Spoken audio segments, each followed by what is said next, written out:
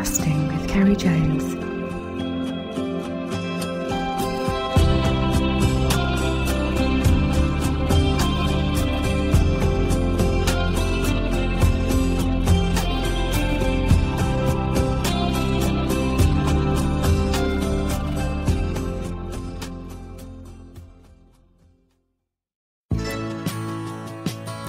Hey guys, and welcome to this week's podcast. Well, it's been three years this Friday. I put my first podcast up. I can't believe what all the time's gone. And since that time, I've had over 140 episodes, plus 120 plus guests. What a journey it's been for me. I thought I need to do something different. It's then a good friend of mine, Carol, suggested about doing a podcast. And to be honest, I'd heard of a podcast, but I didn't know anything about them then. So I got to thank Carol for that. And she's the actual voice at the start of every episode. So because it was all new to me, it was a learning curve. And I bought all the gear, the recording equipment, the mics. I set up a little corner of the studio at home and practiced. I think it must have been around April, May time. When it comes July, I put one up It's quite nerve wracking because when you start something new, you're thinking, is anybody going to take an interest? It amazed me, the response I had. And in the first couple of months, it just rocketed up to about 4,000 listeners. And I think it was the right time for me to set it up as well because it was lockdown. It was important for a lot of people. Every Friday, my podcast would go up, speaking to different guests. And I used to get such a buzz after every episode would go up. The number of messages I would get throughout the weekend then regarding the podcast, whether or not they, they've been to this water or they know the person or more importantly, how much it was helping them through through this uh, lockdown situation. So as time went on, I realised I was onto something good. And since then, I've made a lot of new friends from UK and Ireland. And I want to thank all that who took part, who joined me as a guest on my podcast. And as things were growing week by week, I was spending more and more time doing the podcast and the photography started to slip. Because I'm a bit of a perfectionist, it takes two days a week in producing the podcast, the planning, the preparation, recording, and editing of the production. So to keep this going, I started a Patreon channel in December 21 to help bring some money in to keep the podcast going. I was just doing two free podcasts now, whereas the Patreons who joined my channel did two extra, in effect, still having one every week. So a huge, huge thank you to my patrons. Because without you, it wouldn't still be going. And I still appreciate all the message every weekend I get. And those of you who are not my patrons, please consider joining my channel because you will get weekly podcasts and access to over all the archived episodes going back to the start, over 140 episodes, plus behind the scenes photographs which go behind these podcasts showing venues, action, fish pictures, and flight patterns which some of the guests talk about. And occasionally, I get a selection of prizes to run competitions. So for this episode, instead of having a guest, I want to put together just a small selection of some of the finest moments in the last three years of my podcasts. It was quite hard to choose which ones, I gotta say, with over 125 guests and a lot of poignant and uh, funny stories. It was so hard. So I hope you'll enjoy this selection. Sit back and relax and listen to my three year anniversary episode. Episode 123 John Graham. I don't know what the drug is like, but I can tell you this it can't be any worse than sea fish. Absolutely immense. The fishing that I've had, you wouldn't believe it if I told you. Yeah. I'm telling you now, nobody would. Nobody, nobody was moving around a playa at that time like me. I knew every twig, every branch because I lived there. I lived and breathed it if somebody had been there and moved a twig. I wing without the, I, no torch, no torch. In them days, you didn't. You, you, well, I was so familiar with it, with everything. Do you understand? I was blended in. Yeah. It becomes Oh, second I wish you could have seen it. I wish you could. If do you know, if the boys in Wales knew what sea trout fishing was really like, they would be screaming for it. There's no other branch of the sport that comes anywhere close to it. Everything else is tame compared to sea trout. Night fishing I'm talking about now, not fiddling about in the day. Yeah. Careful what you say now, you're on. Episode 7 David Miller. I know the the Tywi very very well for the again from a diver's perspective. No, not not an angler's perspective. I've met some incredible um, sea trout and salmon in in, my, in my time in the Tywi and, and the Gwili and the uh, and the Cothi and the Sawdde. So it won't be surprising one day if I'm fishing for sea trout one night and I see a snorkel coming up into the pool. I do, I do, for obvious reasons, avoid going at night. De- definitely, I, I, I have upset over the years. I'm literally just one or two fishermen when they've turned up to fish a pool and they've seen me sort of um, coming out. yeah, yeah. In one in one pool on on the Cothi, um, what I what I do to relax um, after a dive sometimes, like you're chasing, um, you know, shadows. Really, the fish are here and then they're gone, and it's hard work. You're swimming upriver, so we've I've had a session photographing, um, and also just because it's what I, what I love to do. Late in the season, one year on the Cothi, it was a deep pool, about 10 feet deep, and I'd had a good dive, seen some fish. So I lay on my back on the bottom of the pool. Just you can just lie as, as a with your scuba gear on, and then just watch, watch the surface and watch the leaves coming down. Wow. And it, it is it is like wow, this is amazing. So, but some guy I couldn't see him had arrived to fish the pool. and, he sees me and he thinks I'm stuck. And he said, because I don't know how many minutes I I was lying there, not not moving. And the Cothi, especially when I dive, I choose it when it's really clear. And I don't know you know the Cothi, it can be incredibly clear. So he could see virtually every every detail on me, lie, lying on the back, not and when when I you know finally decided, he said I was just about to uh, phone the emergency services. so thankfully he he didn't. But um, no, I've, I've had I've had some incredible days. Again, etched in my memory forever on on the Cothi. Just just Episode 121 Peter Boyle. uh, there was a storm one day, and the storm had blown a tree down across the river, you know, and this was great. We were, but we were 14, 14 at the time. I just turned 14. and uh, I said, Jesus, Packy, I'll tell you what we'll do. We'll make a hut, you know, and the right beside the river, fantastic. This was going to be our fishing lodge, you know. So uh, we decided then we needed a pool table. So, um, I, you know yourself over here in Ireland that you have the, over here in Ireland, you have the kind of undertaker slash pubs, you know what I mean? So, uh, Yeah. a pub generally serves as an undertaker's too. I'd say you would have seen that, and I'm not sure what England is like, but definitely over here or Wales is like it's. So uh, we decided, right, they were renovating up the local pub in the village that I was from, you know. So I says to Packy, I said, you know what we'll do? We'll go and we'll take the pool table. You know, not a word about actually buying it or borrowing it, but we're actually going to steal the pool table. So three of us headed up the road and uh, and uh, we got into the pub. The pub was open because they're renovating it, and but sure, nobody told us the pool table had a slate top on it. It's heavy, innit? And I said, listen, the two of us halfway standing at the corner of the pool table trying to lift it, and I could no more lift it than the man in the moon, you know. So next thing we were looking around the same room, and here there's these couple of coffins all hanging up around the, the around the walls of the, the, of the room, you know. So I says, Paddy, I says, Jesus, there's one with a lid on it, and here us, pair of wee tits trying to screw this lid off.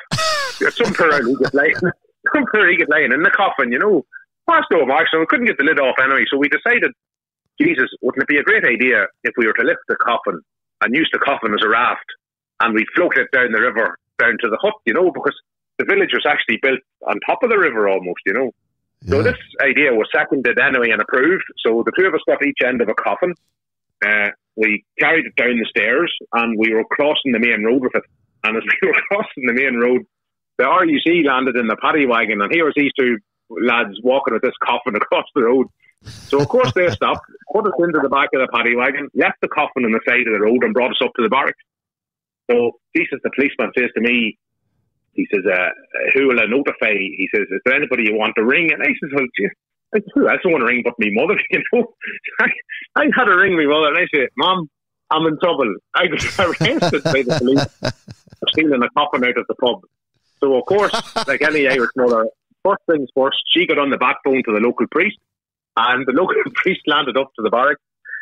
And God love him, he's since deceased. But he turned round to the police and he told the police that he had asked us to move the coffin for him.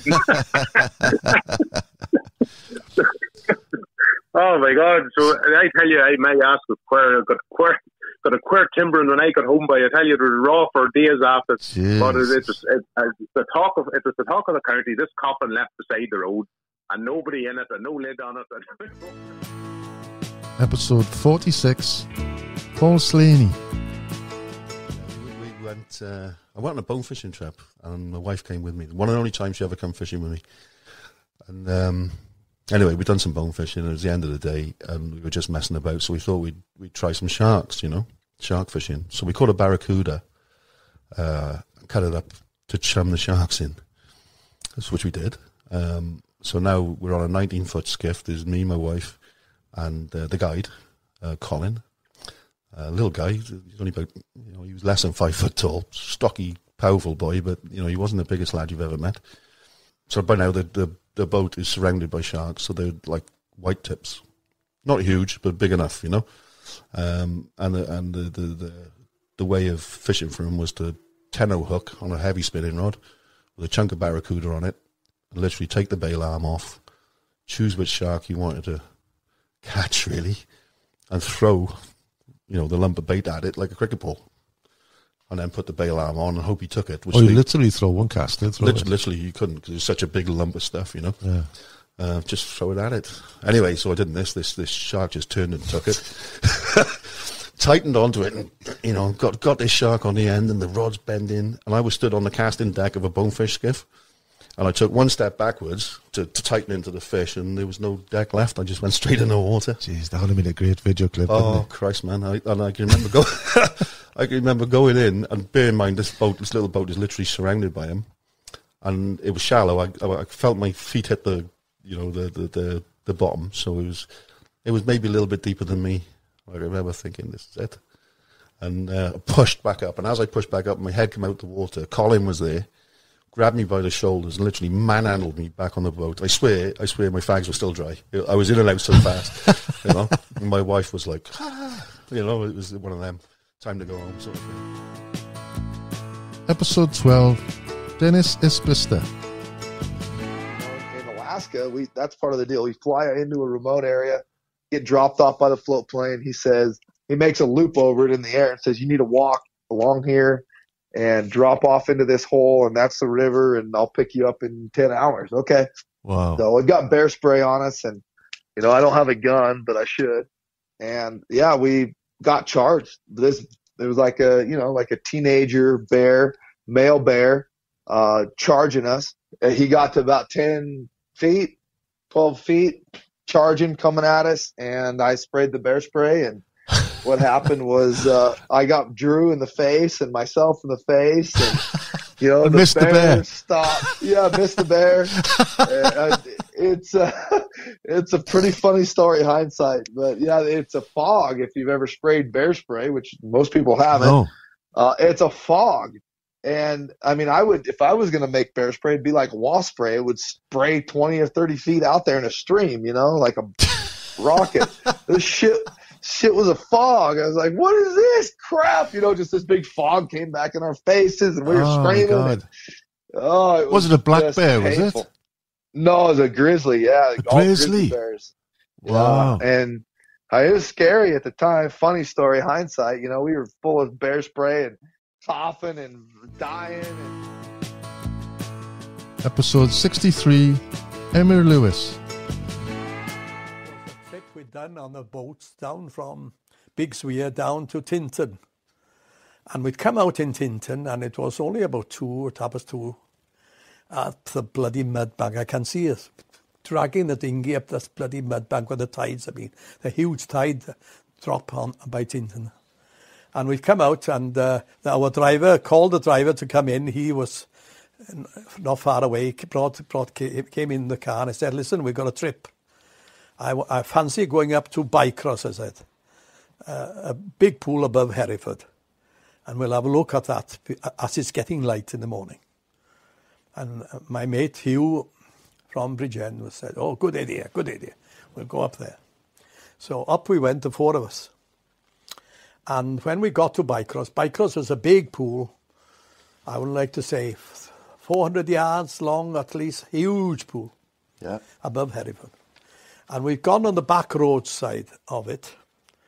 And we parked our car now, and it was about, I don't know, half past four, yeah, around that time. We yeah. walked to the pool, but the mist was all over the pool. Couldn't see a thing.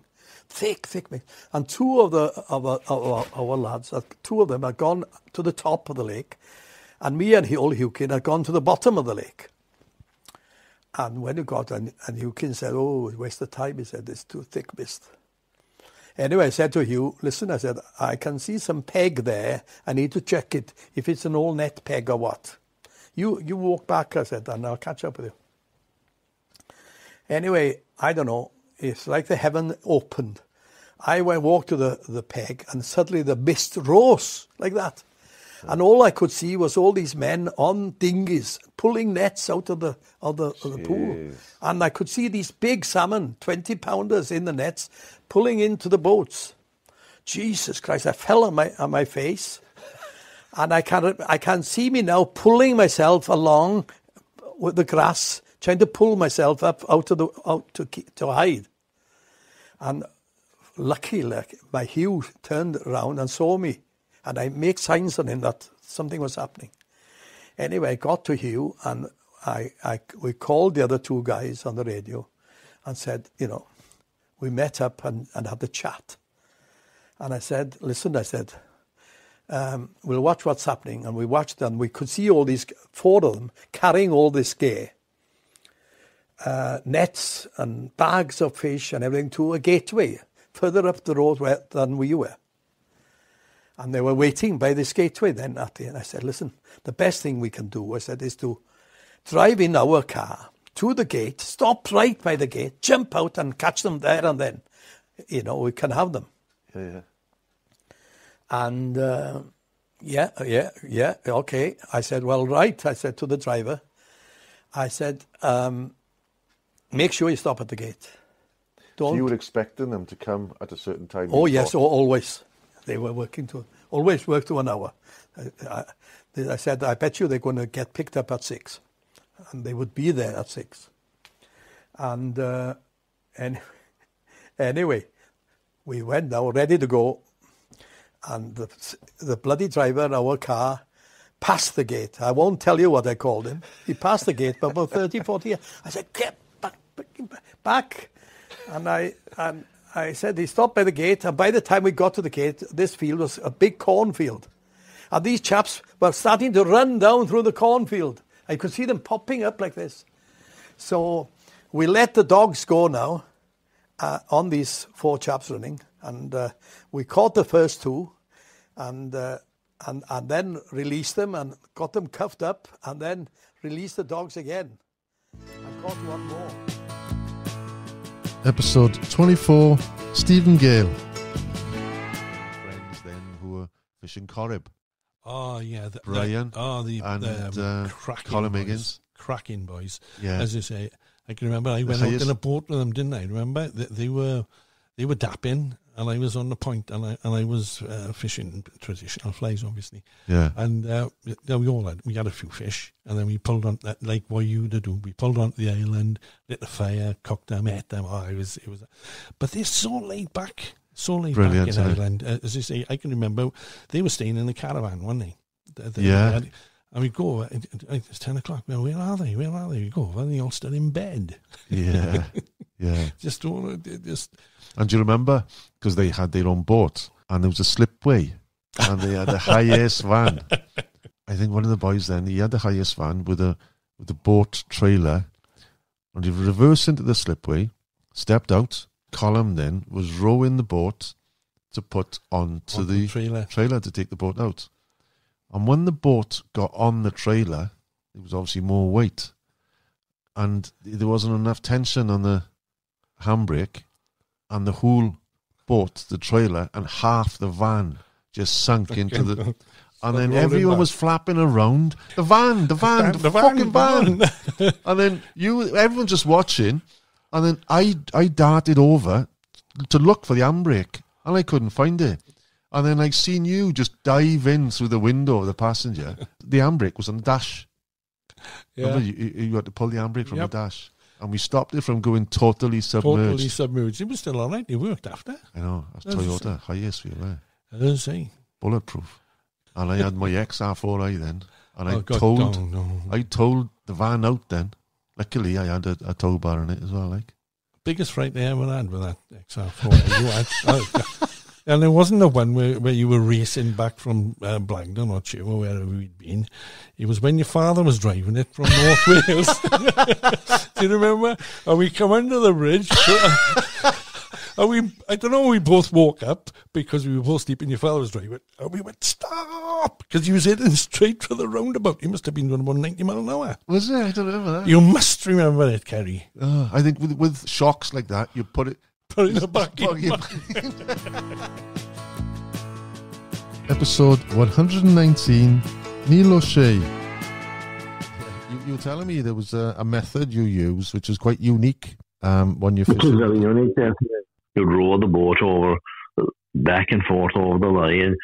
You'd fish it with a double-handed rod. It's you, and it's ninety percent uh, with a floating line here. So you know it makes it very easy. You use two flies and uh, you cast uh, 20, 25 yards, and you retrieve it back nice and steadily. And the boat is held in position. She's not dropped down on where the fish are lying.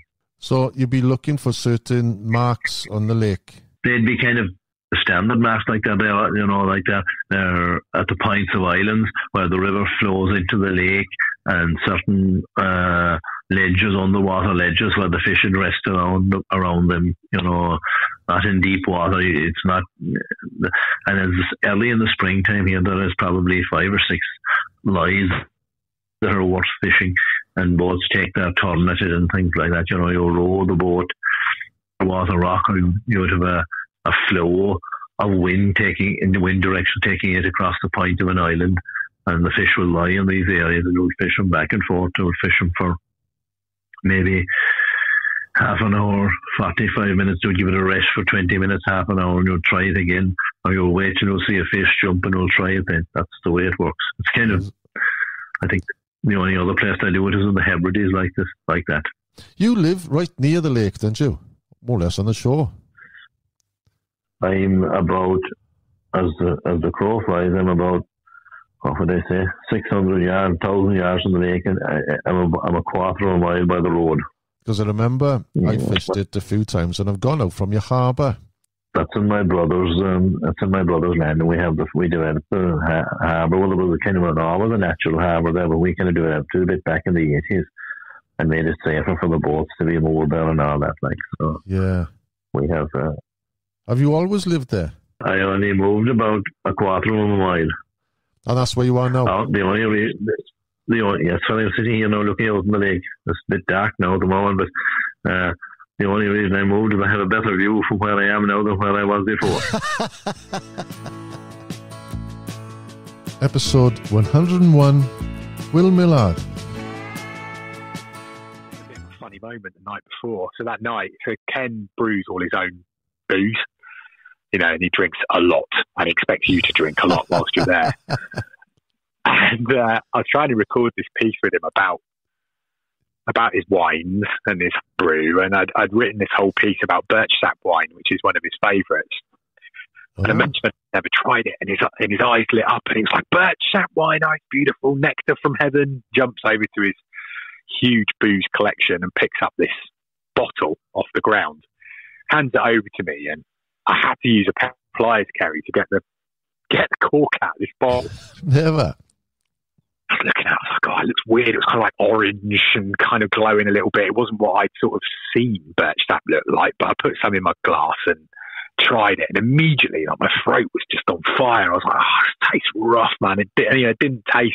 It tastes fruity, but not how I'd imagine birch sap to be. But I was like, "Oh, this must be just what it is," you know. Yeah. And then he said, "Oh, come on, give me a swig." And he took a swig, and he went, "Nah!" He's like, "What the hell is this?" He's like, "My throat's on fire." And obviously, I was then like, "Oh my god, what has he done?" And he looks at the bottom, and he suddenly his whole face is just contorted with fear, and he and he turns to me and he said.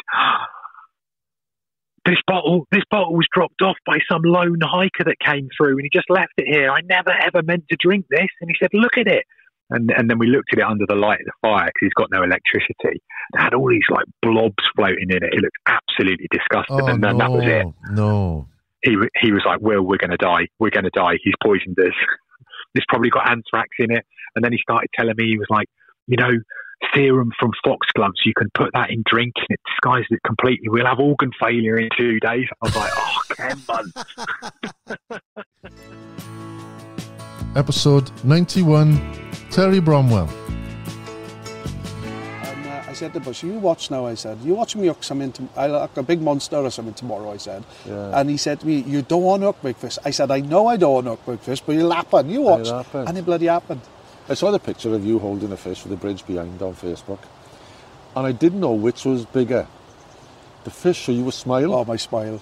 It Oh, I was, was- like, I was was- more of a laugh than a smile. It was a laugh. It was like a, a disbelief, like what the hell, like. And they and, and I say, I think every picture I got is me like just like grinning like a Cheshire cat because I was like, Yeah. I was like, and it was a nice fish as well. Sometimes you get big fish, which they may be lean, Yeah. or they're ugly looking fish, but that was like this prime. was, and it was and it was an N as well. yeah, And I I was like, I watched that fish go away, and I thought, that's that's something I'll probably I'll cherish for the rest of my life. Before I caught that fish, I was, I before any international or any competition, as my time comes down to ten minutes before I start, I'll go to the riverbank, I'll get on my knees, and I'll always rub my hands in the mud or the silt that's in the river. I always do it. I've done it since I've ever international fish. I rub my hands in the, in the silt, and I'll wash my hands off. I know it sounds bonkers, but it's just my little thing. We all got our own little things, don't we? yeah. And um, I, that day, I said, I said to the fish gods, I, I said, just show me your secrets, and I'll take the most ut- utmost respect for what you show me. And and, and this is this is God's honest truth. For my children's like this is what I said, and that happened. Episode 83 Jerry Murphy. Father was working. There was a boat. There was a boat on a trailer here. Uh, probably to go to the lake when my father came from work or something. We, I remember I was only probably 12, 14, but uh, I'm the eldest in the family. Yeah. But uh, there was a boat on a trailer, and this guy arrived first, and uh, he had no tow bar or probably a hired out car or something. But um, I was determined to get it to the lake because I was going to get a couple of quid for it, Yeah. two pounds or something. So I had a bicycle, and the boat, the trailer. My father, made, my father and Tom Healy made the trailer, but they had it in a way that was balanced, so it was easily you could manoeuvre. So I, it was a bit far over the road to walk with it. Uh, there was no jockey wheel, so I tied it to the saddle of the bike, and I walked over the road, and my two brothers pushed it. But that time you could do it because there wasn't much traffic. That was Yeah. in that was in in uh, the seventies, in the mid seventies. Um, and I brought it over the lake and, and put it out, and I remember getting two pounds or fifty pence or something like that. I wouldn't boat, yeah. Episode 2 Alan Rees. staked out this pool on the River Teifi. Okay, it, it was uh, above Llandys there, and uh, uh, and I knew they were fishing there because I'd been down and I'd looked. You know, I'd climbed a tree and seen these fish going around, and I, I sat there oh maybe two hours before dusk, and I thought right, I, I'm going to be first on this pool. And as darkness started to come in, there was like sort of a, a, a high bank opposite, and I was sat there waiting. High bank opposite with some trees, and I heard some branches starting to crackle, and I was like, someone's going to come down the bank there. and jump in the pool ahead of me. I, I'm not going to have that. And I waited and I waited, and these crackles and branches started getting a bit more and more. And more. All of a sudden, there was a, a massive crack, and I it, I found out later it was a, pen, a fence post had broken. There, there happened to be a cow scratching its back against the fence. But when the fence uh, when the fence post broke, the cow came tumbling down through the trees. right, yeah, down through the trees, off the bank into the pool, and this cow was swimming in this pool, going moo moo. right? I wasn't happy, I tell you.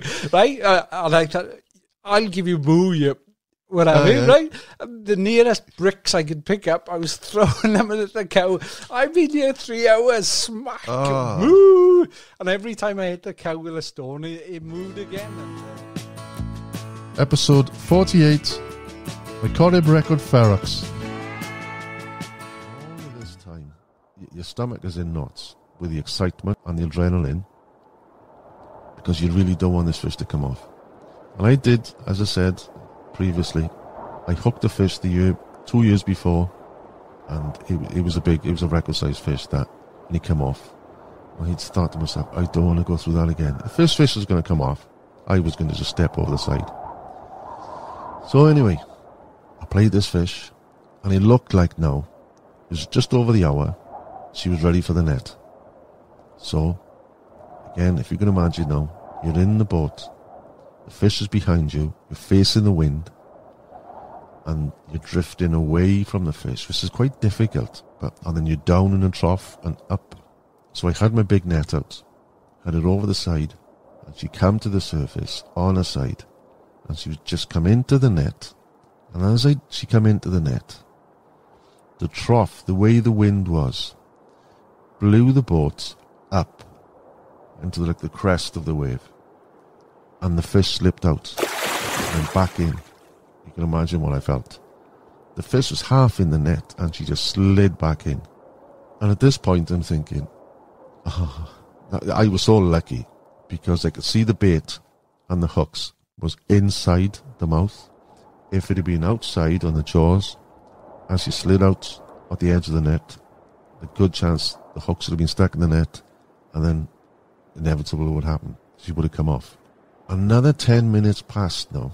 And if you can imagine, I know the size of the fish now. I've seen the size of the fish, and I still haven't got it in. So, like I said, about another 10 minutes passed now, and she came up to the surface again. And I slipped my net under this time, clean as a whistle, lifted the net, and that was it. I didn't just lift her in straight away. I was so shattered, mentally as well as physically. Hour and a quarter that fish would be on. So I held the net at the end of the gunnels for like two minutes. It seemed like a lifetime. Just looked over the side, see the fish there. Lift it then. One heave into the boat. And I could see then that this was the record. Episode 18 Colin Fallen. I was Don Gilly, and always the first seven days in July was was you know year on year off. That was always with Don, and sometimes he'd have a guest with him for the week. And this time he had a guest, fella from Belgium, an outlet from Belgium. So anyway, well, three days into the fishing, we were fishing uh, beat one in Ballynahinch, and we were fishing on the far bank, and on the near bank there's all rushes and reeds, and he hooked a, a fish about five or six pound, and the fish kept, you know, trying to run into the the, the rushes on him, you know. And I kept saying to myself, I said, don't, don't let him in there. I said, don't let, pull him out, but pull him out. And he wasn't stopping the fish at all. And uh, Was it a trap? Actually, the fish went. No, it was a, a grilse salmon. Yeah. The fish went straight into the reeds anyway. I says, "You fucking idiot!" I says, "I told you not to let him into the, the reeds." And sure, the, the fly, the, we lost the fly as well, which kind of really annoyed me because I only had the one of it and it was working very well that week. So I had to break, had to snap the line anyway and, and got it back. So I finished up with them on the, the Friday and I knew they were going to to dinner in Roundstone, into O'Dowd's restaurant in, in Roundstone. You were actually in there with me one time, Yeah, I remember, yeah. Chowder. and- We had a liquid So lunch anyway- as well, I think. at lunch. Do you see how I stopped? We had chowder and. Uh, so, so what happened was uh, I I drove back to Galway after doing seven days work with them, and I was emptying out my car, and lo and behold, Yamano's fishing bag was in in the boot of my car, the Belgian fella. Yeah, yeah. Uh, like you want to see all the, the hardy reels he had and boxes of fully dressed salmon flies and this, that, and the other. Like this was this was fifty grand worth of stuff now in his in his uh, bag, like big bag. So I said to myself, I can't be responsible for uh, shipping this back to Belgium. Like I, I, I hardly even knew his name and stuff. So You'd forgot I it. Jumped back in the forgot it. Yeah, it was in my car. I jumped back in the car anyway, and I drove back out to uh, Roundstone, which is about an hour and a half from from Galway. And I went into the restaurant, and I brought in the bag, and there he was with Don, and there was two other fellas, two kind of big heavies. And I, I said to myself, right, this makes sense now because I'd seen them two big fellas, you know, daily for the last week and stuff like that. You know what I mean? They were his bodyguards, right? Right. So Don says says to me, uh, "You'll stay for dinner and you can stay in my house. That's a brilliant uh, gesture what you're after doing there." And I said, "Well, thank you very much. I I'll enjoy that." And he says, "No," he says, "Colin, I I'll formally introduce you to the King of Belgium." He says, "Right, Albert, the King of Belgium." And I went, "Oh, hello. Uh, uh, how do I how do I refer to you? I says to him, you know, and he says, well, most people will call me uh, Your Majesty. He says, but I loved it when you called me a feckin' Egypt. so I'm not, I'm not used to being called a feckin' Egypt, he says. Right, so I says, I've just called the King of Belgium a feckin' Egypt. So that was, that was good. And probably my favourite last cast story, John Graham. Well, there's one question I ask now. Every podcast I do, there's one question I ask everyone. Go on, boy. Where would you want to be to make your last cast? Oh, that's a hard question to answer, that is. That's a hard question to answer. To make my last cast, I can think of a thousand places. I can think of a thousand places I've been. Any pools? Yes, but then a lot of them are no longer there. The river has changed out of recognition. I got such memories. There's nothing like sea trout to give you lasting memories. Yeah. It does. It gives you lasting memories. You know, the night, a, a night with cloud and the moon sailing through the cloud like it's like a galleon. A gypsy night, I call it. And strong wind blowing upstream. Them nights, the big sea trout used to be on the run. And you'd be fishing and, and casting against the elements, whacking it into the wind. You know what I mean? And when they used to take it, they used to take it with vengeance. Yeah, that's the sort of dynamic fishing I remember. Fantastic. So where would you like to go fish? I can't, I can't answer because there's so many. I've been to so many piece, pieces of beautiful water. If you've enjoyed this podcast and want to listen to more, please consider becoming a Patreon, where you'll get weekly podcasts and access to over 140 episodes, behind the scenes photography to go with each episode, plus other exclusive content and prizes. To become a Patreon, visit patreon.com forward slash casting with Ceri Jones, or you can find the link on my website, castingwithcerijones.com. That's all for now. And tight lines and don't strike too soon.